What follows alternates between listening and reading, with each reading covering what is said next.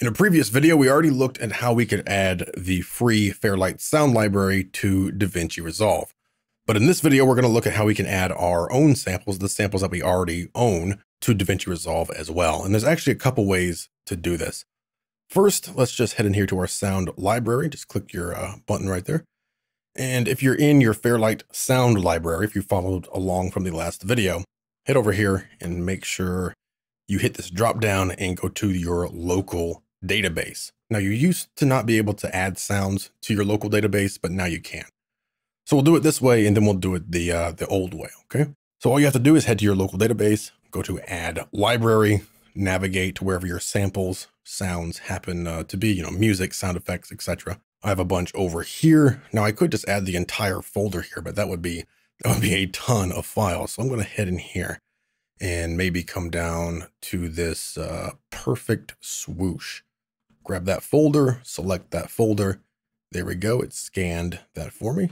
Bada bing. And now we have that, uh, that sound library loaded up in here. So if we want to use those whooshes, make sure I have my local database selected. Uh, I'll just type in something so we can actually get a result and then you can find your sounds. Now, what if we want to add more libraries, more sounds to our local database? Well, in that case, just come up here hit your three dots and choose add library.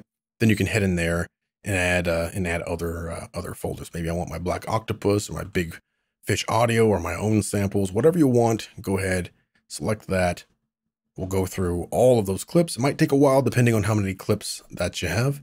And once you're done, all of those will be accessible uh, from your, in this case, your local database. You can just uh, search them out, or as we showed in the last video, just do your uh, three stars and you can go through here and uh, check out your samples.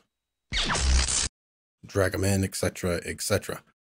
Now there is another way to do this. Instead of putting your sounds in your local database, you can actually create a database just for your sounds. So we'll click home and we can do a new database. We can call this sound library or sample library or whatever you want. And you can choose the location so I'll put the database with my other DaVinci stuff right there. Let me come back here on V and make sure I add a empty folder. So, okay, select that folder. You can add a thumbnail here if you want. This is a disk database. We can go ahead and create that database. Okay, so now we have created our database sound library right here. Don't even need that. We can head up here and now we have our sound library database. And from there, you can go to add library. And this is one way to keep your, you know, your databases separate if you want. So then if I wanted to, I could say grab this entire E folder, which has a ton of samples. That's way too many samples. I could select, say, the sample library folder, select that folder, and it's going to go through literally hundreds of thousands of clips in this case, so it's going to take a while. In the past, it was usually suggested that you keep your databases separate and keep them as small as possible, so that way they are as fast as possible. Does it really matter today? Maybe, maybe not. Uh, if you have a ton of sound effects like I do, I would probably suggest that you go ahead and create a separate database for your uh, sound and sample libraries.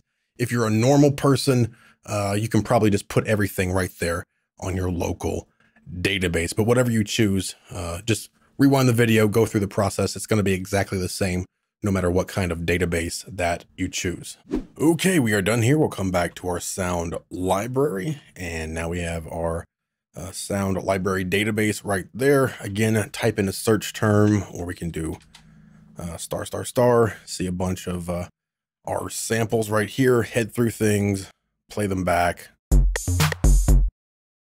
We can mark in and out points, etc., etc.